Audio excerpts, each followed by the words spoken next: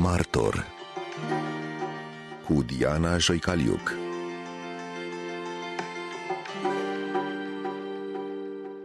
Domnule Vasile Nussbaum, v-ați născut în anul 1929 la Turda și aș vrea să vă întreb cum au fost primii ani ai copilăriei dumneavoastră acolo în Turda. În primii ani de copilărie, având în vedere că, hai să zicem așa, mic burghez, mai înstăriți, evident că am o copilărie foarte fericită. E vorba de prima copilărie, până la 10 ani, fiindcă atunci s-a schimbat toată viața. Părinții dumneavoastră la Turda cu ce se ocupau? Mama mea casnică și tatăl meu a lucrat ca și economist multă vreme la o întreprindere, dar, cum să spun, aproape că n-am știut nimic nici măcar unde lucrează și nu mi-a fost nicio preocupare. Practic, de care mi amintesc și mi-au lăsat uh, urme numai după 10 ani aveați 10 uh, ani, când v-ați mutat împreună cu familia la Cluj. Exact. Ce a determinat această mutare de la Turda la Cluj-Napoca? Motivul pentru care tatăl meu nu a avut niciodată cetățenia română. N-a putut obține, nu, nu știu de ce. Și având în vedere că avea relații cu oficialitățile, s-a spus, în aceste condiții, s-ar putea foarte ușor, dumneavoastră ca evreu și cetățean maghiar, să fie expulzat din țară, nu știm și familia atunci rămâne. Și atunci sigur că dubiuri și discuții familiare ce au avut loc, ca să ne mutăm cu toții în Cluj. Era anul 1940, uh, anul în care Transilvania de Nord a fost anexată Ungariei. Exact, asta a fost și motivul. Aveți vreo amintire cu trupele hortiste mărșăluind prin Cluj? Ați văzut soldați? Da, dacă mi-aduc aminte având în vedere că tot pe stradă Hore am locuit undeva într-o altă parte, așa că au venit cu trenul, trebuia prin această stradă să mă până în centru. Și am văzut pe un cal alb nu știu dacă Horti sau cine să fi fost, dar am văzut așa cum am orșeluit. Ce am simțit? N-am simțit nimic. Eu personal. Însă, probabil, majoritatea evreilor au simțit ceva foarte pozitiv. Și vă spun de ce. Eu cred în amintirea părinților mei, mă refer acum de la generația lor, și-au dus aminte de Austro-Ungaria. Crezând în acele primele săptămâni, poate o să revină la aceeași situație evreimii, cum a fost în Austro-Ungaria. Deci vă spun, nu senzația mea de copil, dar cred eu că asta a fost entuziasmul la venirea trupelor maghiare. Cât a durat asta, nu e cazul să mai spun. De aici, viața noastră a fost foarte grea. Deja în Ungaria, legile antisemite au fost incomparabil mai puternice, mai groaznice decât în România, așa încât am simțit și eu personal. Dar nu numai ca și copil, nu numai, ci am avut o viață foarte grea din punct de vedere a traiului. Foarte greu a reușit tatăl meu să lucreze, să câștige ceva. Mi-a rămas în minte acele probleme mari de care n-am auzit cu jumătate de an, un an înainte. Potrivit uh, legilor uh, antisemite maghiare care au fost uh, impuse, cum spuneți, și la Cluj-Napoca, multe afaceri evreiești au fost confiscate sau închise, iar copiii evrei nu mai puteau frecventa școlile publice. Da, Întâmplarea a făcut, s-a primit aprobare și a fost înființat un liceu evreiesc în Cluj. Unde a funcționat acest liceu? Exact în apropierea Spitalului Evreiesc din Cluj și nu întâmplător. Spitalul Evreiesc, magazia și toate părțile anexe ce a avut, a cedat și acolo s-a format. Vă dați seama, într-o clădire de trei etaje, clasele era vagon. Fiecare a dus de acasă, noi am fost destul de săraci în acea perioadă. Eu numai câteva scaunele am adus. Alții masă de bucătărie. Așa a început școala, că n-am avut altceva. Asta a fost toamna anul 1940. Cam o mie de copii evrei, nu mă refer la Cluj, în apropierea Clujului, chiar și Târgu Mureș, acum cu oareca exagerare spun, una din liceele cele mai bune din lume. Asta spun așa, dacă nu râzând, dar cu o părere extraordinar de plăcută, și anume, nu numai copii evrei, dar și toți dascălii, profesori și universitari și de liceu au fost scoși din învățământ. Așa încât vă dați seama de corpul profesoral și am amintiri foarte interesante. Odată mi-aduc aminte un profesor de-al nostru citea ceva. domnule profesor, vă pricepeți la hieroglife? Păi nu, nu sunt hieroglife. Eu am fost profesor de greacă antică la universitate. Altul am intrat în clasă cu pantaloni scurți de copii de 11 ani. Și mire vine profesorul, domnilor, cu luați loc. Prima dată când am domnilor. Foarte hazli sunt aceste întâmplări. Spuneți la un moment dat că în acei ani de școală v-ați simțit cel mai liber. Numai acolo am simțit liber, nici acasă nu, nici acasă, nicăieri. Eu mi-aduc aminte de o scenă, merg o dată de școală acasă și bate la ușă. Ta, ta, ta, ta, ta, ta, de câteva ori, din Beethoven.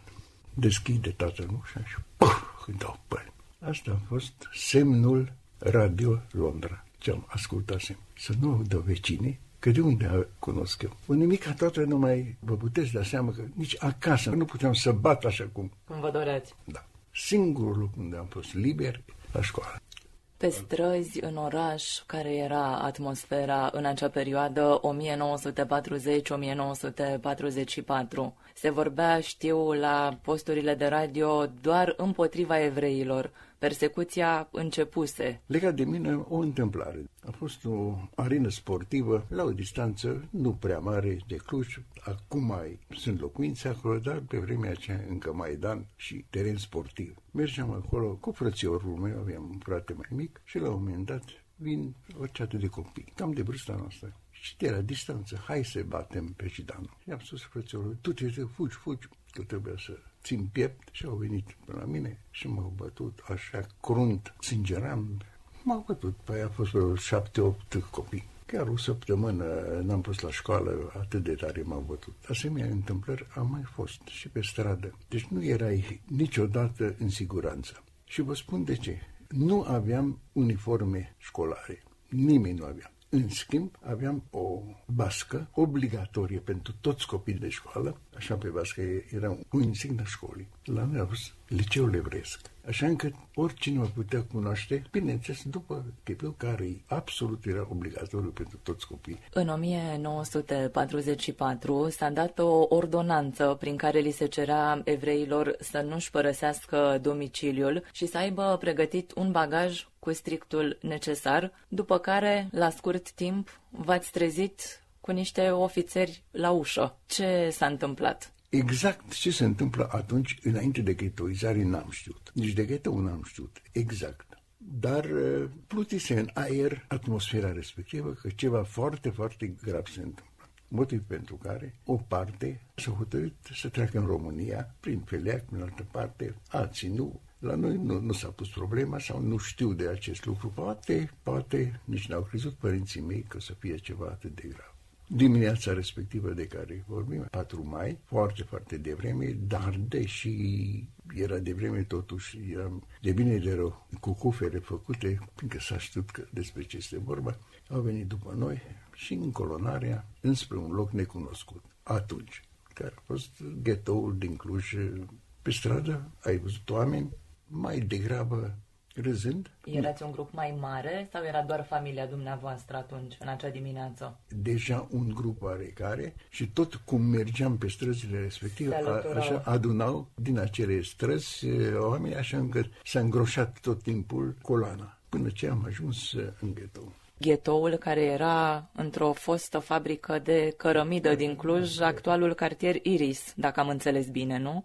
Da, cartierul Iris, dar mai încolo puțin. Vreau să fac o altă remarcă. Când întrebați de viața mea, trebuie să spun că este o mărturie oarecare a unuia care supraviețuitor. Și foarte importante sunt aceste mărturii, deși unele pot fi chiar contradictorii. Și chiar dacă sunt contradictorii, toate sunt adevărate, fiindcă cum a simțit omul în perioada respectivă. Sunt foarte multe adevăr contradictorii. Cum a arătat ghetoul, că am avut nu cred, cu coferele noastre, cu tot ce am adus, 4 metri pătrați pentru părinți și pentru noi copii. Eu am amintiri foarte plăcute legate de ghetto. Eu personal, 15 ani, nu mai e școală, toți copiii sunt acolo și fetele, cred că primul sărut cu o fetiță acolo în ghetto, de ce ele au fost acolo? Nu mi-aduc aminte. Sunt o sete sau foame. Nu știu dacă părinților după sete sau foame. Am avut provizii și de acasă ceva. De aceea spun că relativ puțin timp am stat acolo, trei săptămâni, deci n-am simțit ceea ce înseamnă gheteul mai încolo dacă am fi stat mai mult. 5 sau 6 săptămâni, 7 săptămâni. Poate atunci aș fi simțit că mi-a pus foame,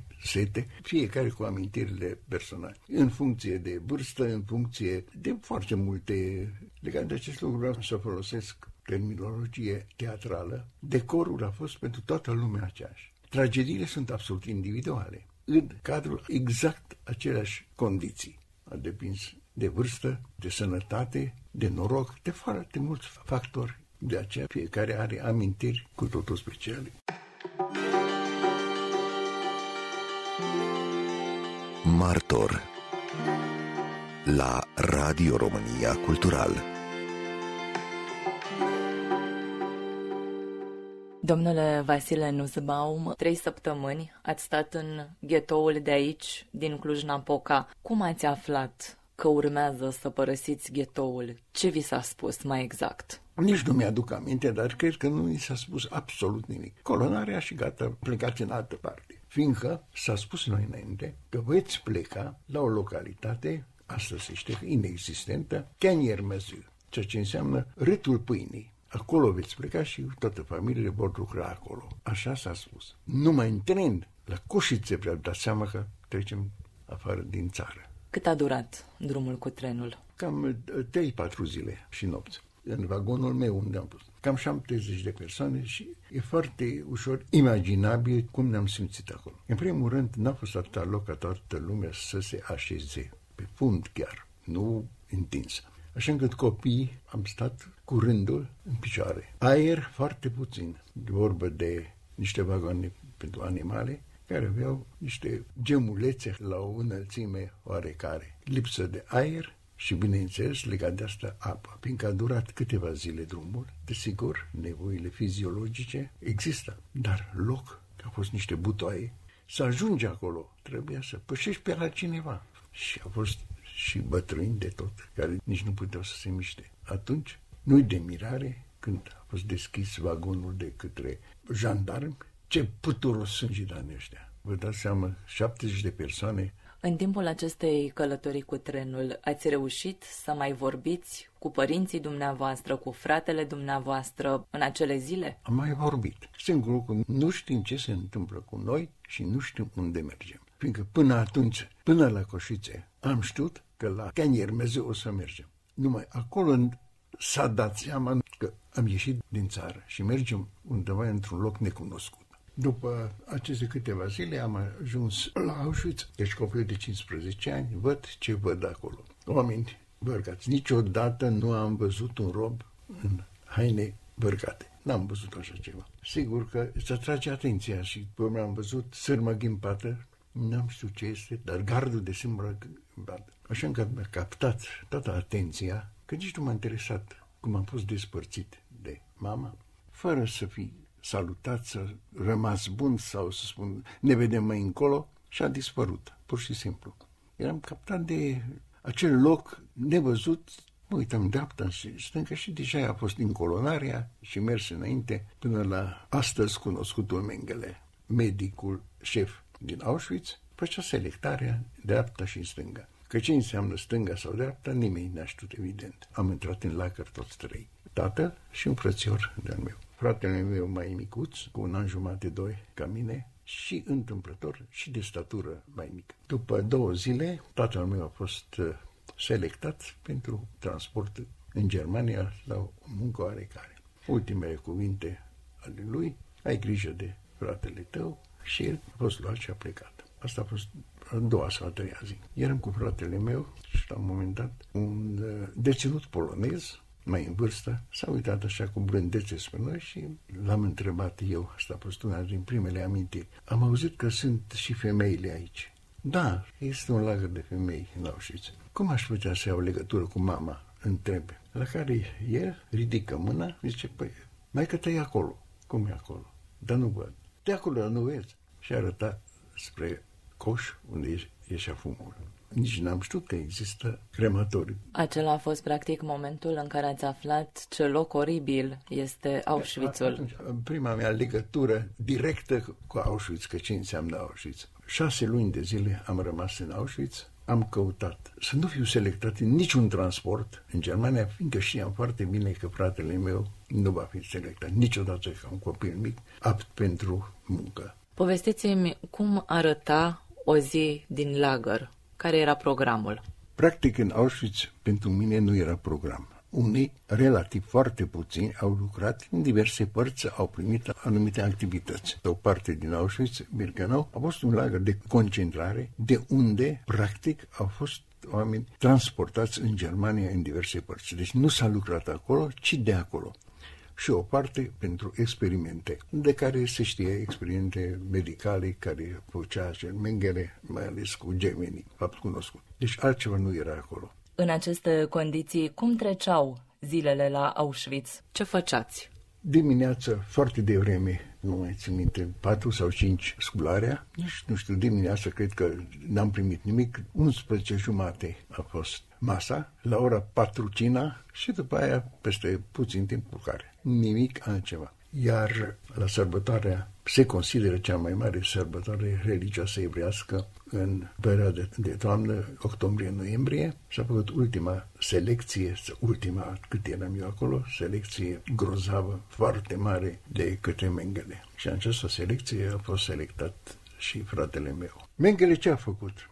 A preluat rolul Domnului și a spus, asta va trăi, asta nu va trăi. Pentru mii și zeci de mii de oameni, da? Aici urmează cea mai mare dilemă care ține și până astăzi, și anume fratele meu. Și acum, aproape că plâng, el a fost selectat și în acea perioadă așa multe transporturi au venit, încât n-a fost loc pur și simplu pentru camerele de cazare. Vreo trei zile, toți, și copii, și mai în vârstă, au fost cazați în niște bărăci păzite. Pe asta s-a făcut tot de niște deținuți. Și la un moment dat eu tot treceam pe acolo și întâmplarea face, cunoșteam pe unul dintre supraveghetori de acolo. Ziceam, tu poți să lași pe fratele meu. Strigă după mine, totuși e o posibilitate. Caută pe un copil, trimite un răbaș, ceva ce vrei, că tu nu poți veni la mine și încerc eu să schimb. Atunci numărul rămâne. Chiar eram foarte fericit și întâmplător am și găsit un copil. Și aici vreau să spun că ce înseamnă Auschwitz. Dar nu-i voie să mergem acolo, tu știi foarte bine. Zic, dar trebuie să... Am găsit ceva motive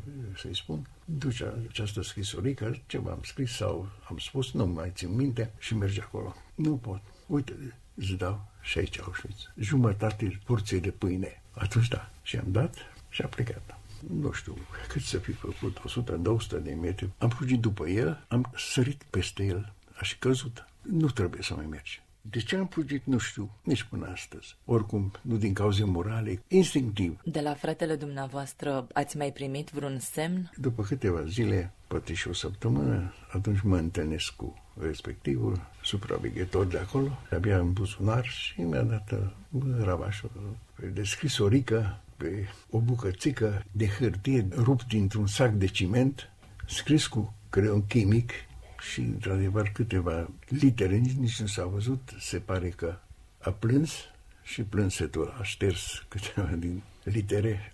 Nu mai pot să exact cuvintele scrise să mai reproduc, dar cam acest lucru, dragul meu frate, eu știu că mă voi duce într-un loc foarte bun de acum înainte. Nu o să-mi fie sete și foame. Asta scrie un copil de 13 ani.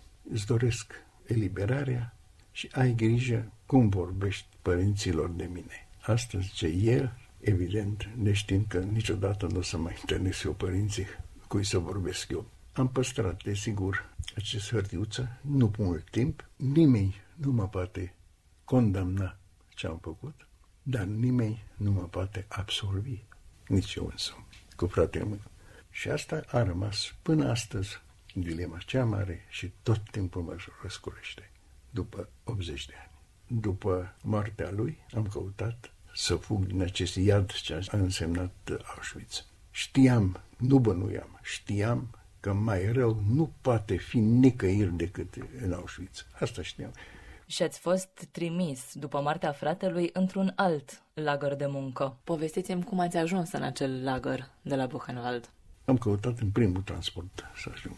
Habar n-ai când e un transport, nu se știe din partea deținuților că unde te duci. De pildă, după bombardamente în diverse părți pentru scoaterea moloțului, agricultură, fabrică, habar n-ai unde. Și nu e același lucru. Unul din colegi cariere de piatră au ajuns, când nu știi. Și destinațiile sunt niște nume. De pildă, că Magdeburg, cel puțin știi că e un oraș, nu? Sau Niederorschel, nu spun absolut nimic. Magdeburg a pus cariere de piatră, de pildă. Eu m-am dus fără să aleg primul transport. Am avut mare noroc.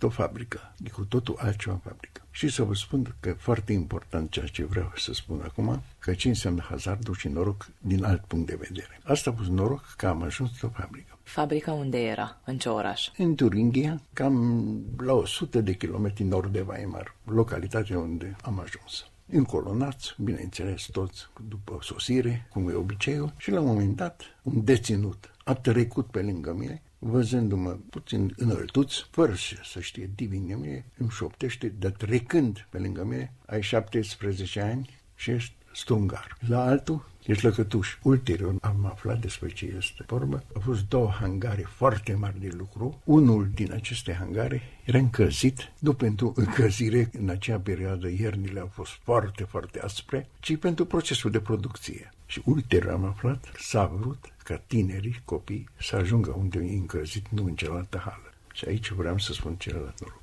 contează fantastic de mult. Cine este acel om deasupra ta la gradațiile date de nemți în lagăr? Și eu am avut un mare noroc. A fost un comunist din Halle, Otto Hermann. Când eu am ajuns în acest lagăr, el era deja al șaselea an în lagăr în Buchenwald. Și pe tot parcursul cât eram acolo, nu am făcut altceva decât să ajute pe toți care lucrau acolo din toate punctele de vedere. Chiar și un sabotaj a reușit să aplaneze. De obicei, mai puțin de sabotaj erau omorâți, deținuți dacă au făcut ceva și strangulați. Dar damite cu un sabotaj. Nu trebuie să spun altceva decât ulterior, după moartea lui, am fost uh, de față când Yad Vashem, a considerat pe Otto Hermann unul dintre bravi printre popoare pentru tot ce a făcut în această perioadă. Iată cum și în astfel de condiții îngrozitoare, cine a vrut să facă bine, a reușit să facă. Da. După ce ați ajuns la acea fabrică de avioane, ce făceați? Nu-i mare lucru ce am făcut, dar dacă te gândești foarte bine, totuși înseamnă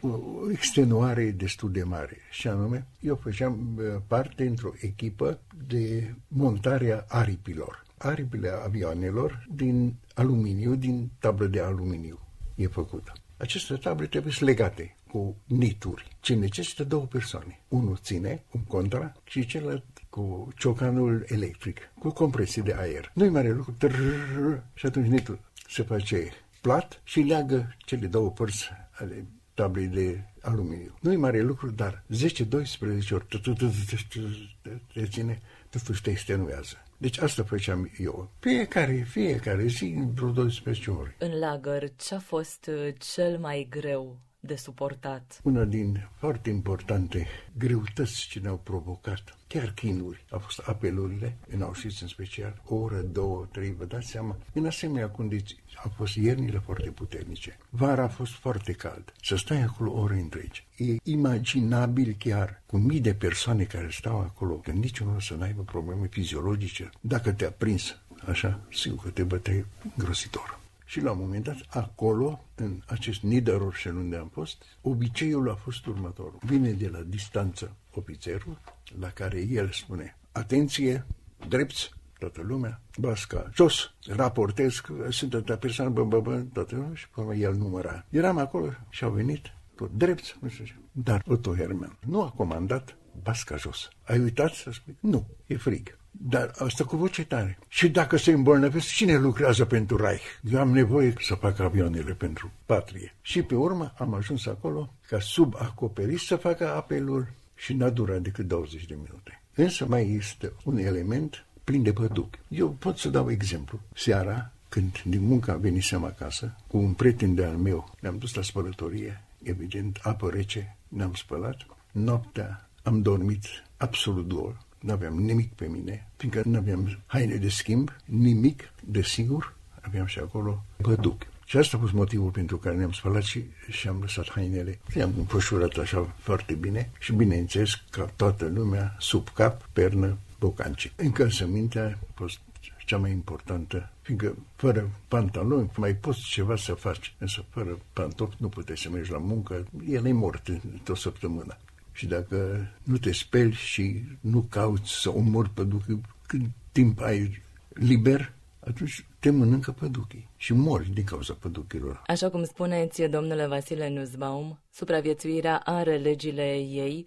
Povestiți-mi, vă rog, ce s-a întâmplat cu câteva săptămâni înainte de terminarea războiului. 1 aprilie 1945 a fost ziua când am pornit din acel lagăr unde am lucrat înspre lagărul Mamă Buhovat, care se află în sud 100-110 km distanță. Și până atunci, cu vreo lună înainte, deja am auzit bubuitori de tun. Ceea ce știam că pe undeva războiul se apropie sau, cu alte cuvinte, în terminologia noastră și în speranța noastră, eliberarea trebuie să fie aproape că deja se aud tunurile. Noaptea, la ora două sau trei, strigăte, urlete, esesiștii, scularea, scularea. Dar nu știam că despre ce se vorbe, eram foarte supărați. Că un banc de 1 aprilie, exact asta am crezut, un banc de 1 aprilie, că ne scoate din pat, ce glumă proastă. Atunci am aflat că nu-i glumă proastă când fiecare am, am primit câte o pâine întreagă. Asemenea glume nu se fac acolo. Că ceva se întâmplă, dar nu s-a știu ce. Și foarte scurt timp în colonarea, tot ce s-a putut căra de acolo în mână ni s-a dat. Evident, o bună parte din ele s-a lăsat pe drum, că n-am mai putut scărea, că nu era putere în colonare și nu știam pe unde, dar am aflat în foarte scurt timp că mergem înspre Buhumba, însă nu s-a putut majoritatea cazurilor decât noaptea să mergi, fiindcă ziua avioanele erau și trebuie să fim camuflați noaptea și cum era aprilie, deja destul de devreme s-a făcut ziua, așa încât eram încărtăriți undeva și am ajuns după câteva zile, 5-6 zile, în apropiere. Acest Otto aflase că, în general, lumea, dar mai cu seamă evrei, în Buhumba, că de acolo în marșul morții sunt duși oameni. Am aflat ulterior că 28 de mii de oameni, în mai puțin de ultimele două săptămâni, înainte de liberare, au fost omorâți. 21 de mii, de fapt, au fost eliberați. Deci aflase el tot ceea ce vă spun ulterior s-a aflat, discuțiile acestui Otto Hermann cu conducătorul grupului esesist. Te duci și spui că nu putem pleca, lași aici și nu mergem mai departe. Dar cum să fac acest lucru, zicea el, acel ofițer german, dacă eu sunt de acord. Pe mine mă omoară esesiștii, gardieni, pur și simplu. Și atunci a consultat cu o serie de oameni de acolo, printre ei și medici, că este o epidemie atât de puternică încât tot lagărul te duci acolo și spui și s-au înțeles. Ăsta s-a dus acolo și realmente am stat patru zile. În loc n-am plecat mai departe, deși eram aproximativ la 4-5 ore de mers pe jos până în lagăr. Și până la urmă, la data de 10 aprilie, seara, seara târziu am sosit acolo, baie, cum se obișnuiește tot, 11 a fost eliberare. Iarăși, toată coloana putea să mulțumească lui Otto Hermann. A rămas uh, un salvator până la capăt, acest uh, Otto Hermann. Povestiți-mi da. mai multe despre ziua eliberării, cum s-a desfășurat, cum v-ați simțit. După eliberare, chiar din prima zi sau primele zile, în tot cazul, toți tinerii au fost cazați în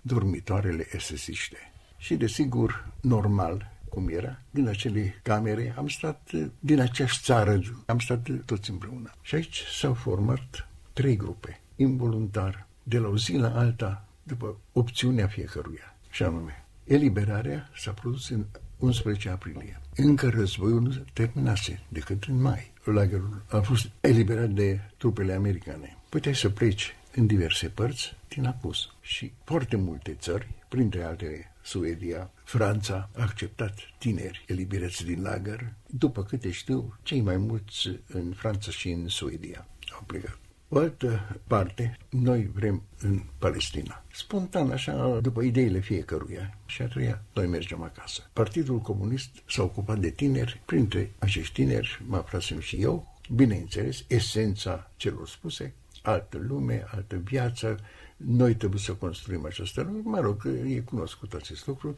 Așa s-a întâmplat și eu am ajuns acasă. În Cluj, uite, în dreapta și în stânga și și îmi dau seama. Eu n-am terminat încă școala, n-am nicio meserie, n-am locuință, deja în casă stă cineva. Și au fost niște așezeminte unde cu încetul fiecare și-a găsit rostul său.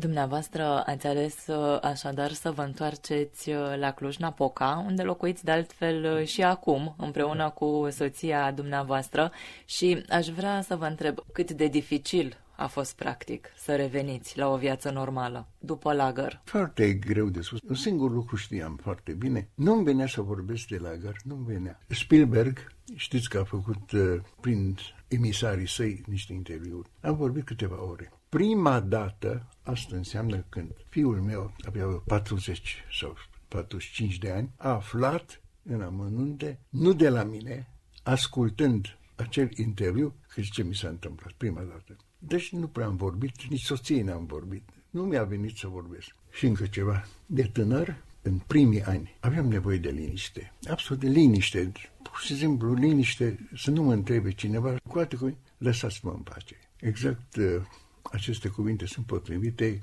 dacă vreau să spun cum am însurat. Am găsit pe una care cânta la vioară. Am stat cu ea împreună ore întregi, fără să vorbim, ea exersa. Eu am citit, am făcut lecțiile la ea acasă, vreo trei ore, după care am plecat acasă.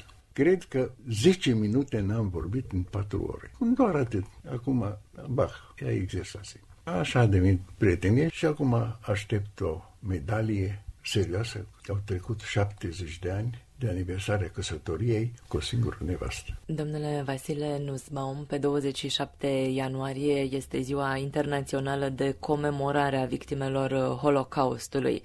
Aveți vreun mesaj pentru tânăra generație? Mesajul nu ar fi altceva decât să lupte cu ghearele și cu dinții pentru democrație, o democrație adevărată, deoarece lagăre de concentrare există numai și numai în cazul de dictatură. Orice fel de dictatură, fiindcă dictatorul nu admite nicio contradicție față de dorințele, indiferent ce vrea, rasial sau altceva, de orice natură să fie dorința dictatorului, cel care contrazice ajunge în lagăr de concentrare la moarte. S-a dovedit acest lucru de 100 de ori. Singura democrația care te poate apăra pe tine și pe oricine și oriunde în lume, indiferent cum consideri, cu toate greutățile, necazurile și imperfecțiunile democrației, totuși singura formă de guvernământ prin care nu poate exista lagăre de concentrare, omorârea diferitelor persoane pentru că au alte păreri decât alt dictator.